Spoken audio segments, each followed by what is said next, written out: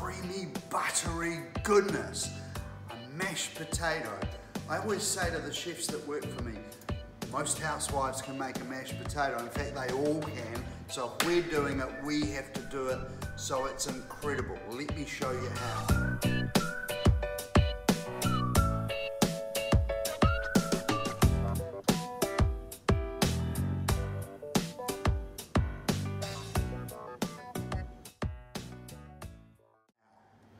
What we've got is some Yukon Gold potatoes. They're kind of halfway between a waxy and a starchy potato. Peeled them, cut them into cubes, into cold water. Let's get the heat on and get them cooking. As soon as a knife goes in, just pops out okay.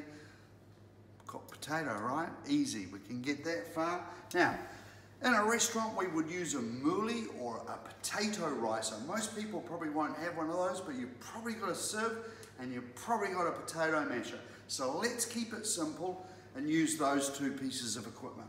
Over here, I've got some melted butter, I've got some milk, I've got some cream, and look, nutmeg, that's key, really, really important that, that it goes in there. And I've got some good salt there. I'm not using iodized salt. Iodized salt's gonna do us no flavors at all. In fact, it's got no flavor, it's just horrible. Find a salt that you love, Himalayan, Maldon, Murray River. There's lots of great salts. There's even a New Zealand Marlborough salt. So, you know, let's get these potatoes cooking.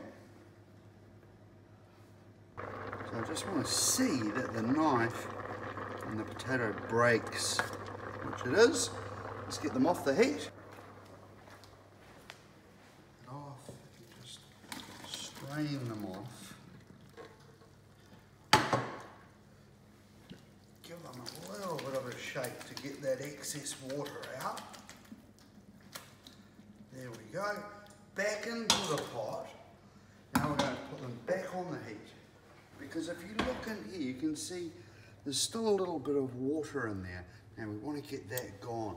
Whilst that's happening over here, I'm going to heat a pot up and I'm adding some milk, just a little bit, and also some cream. Goes in there like that. It's going to richen it up. And I've also got some melted butter here, which will go in too. Now we want to get some butter and want to get some cream in there because that's fat and that's going to help lower the glycemic index. Now I'm going to get some grated nutmeg in there, just to add to the flavour. And we're going to heat that up and make sure you put your milk and cream into a reasonable sized pot so when it starts to bubble up it doesn't boil over and you turn it off the moment it does. Now you can see that this pot is now looking dry. So we've dried our potatoes out, which is good. And away we go. Over here, the potatoes have dried out. I've got my potato masher.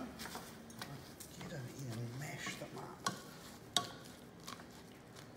There we go. Now, you could just mash them, but we want silky, creamy, smooth, buttery potato. So I'm going to put them through the fine sieve. Now, if you've got a potato ricer or you've got a mouli, put it on a fine, on the finest uh, mesh that you can, and you could just wind them through. Now, I've just got a ladle. I'm going to put them into here, and I'm going to push them through. Now, this takes a little bit longer, but will pay dividends. Now, remember, no potato is created the same, so they'll all take different times to cook, depending on the variety that you get. And I'm using Yukon Gold. See, it's just about gone there, and it's going down into the pot. Don't forget about your cream and milk that's on the stove. And you can see here it's come up to the heat and I will just turn that off. First thing I want to do is get the melted butter in there. Get that combined in there.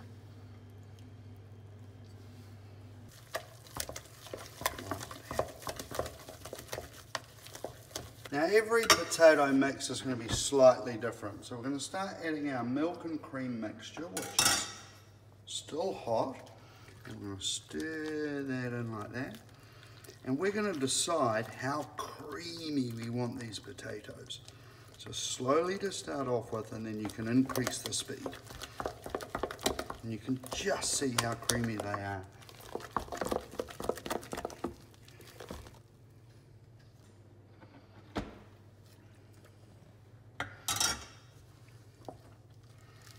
See the nutmeg in there.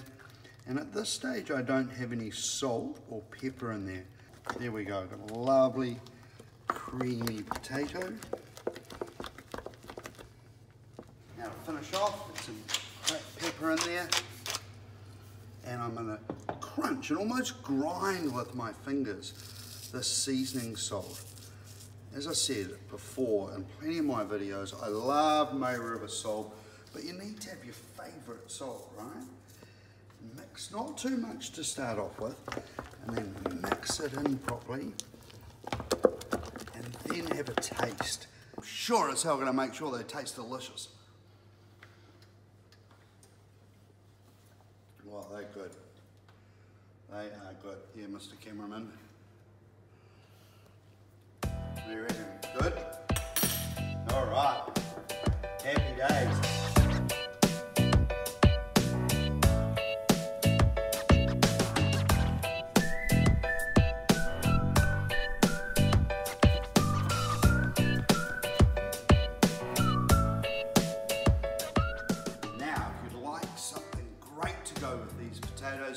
Check out my beef bourguignon video. It's super easy and incredible. Please subscribe, hit the like button if you thought this was kind of okay. Love you everybody and thank you so much for watching. It's been fun doing this video.